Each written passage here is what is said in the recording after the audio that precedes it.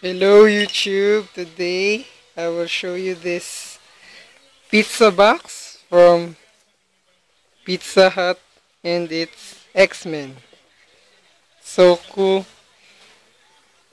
because we ordered this um, X-Men Days of Future Past tumbler. Here we have Storm, Mystique, Beast, and the whole X-Men team.